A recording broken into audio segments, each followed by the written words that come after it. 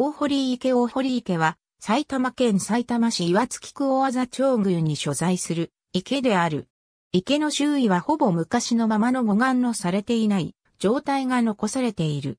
北方には太閤寺、南方には長宮運動広場、西方には第四公園が位置している。大堀池のすぐ西側には、増野川が流下しており、増野川を挟み北西方には、小池が所在している。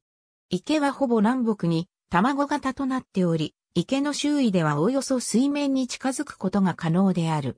所在地周辺は主に水田などの農地となっており、その外側に集落や住宅地、工場などが位置している。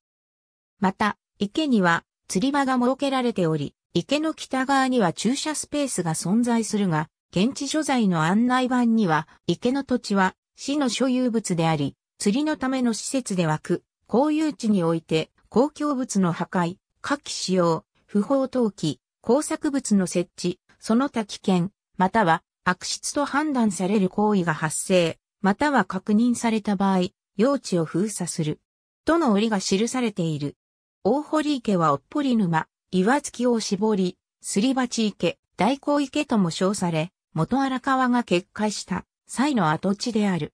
今日では池の周囲は約220メートルとなっているが、明治期の記録では、東西32県、南北50県、周囲130県で、村の西方に位置すると記され、天明年間の洪水により発生したとされている。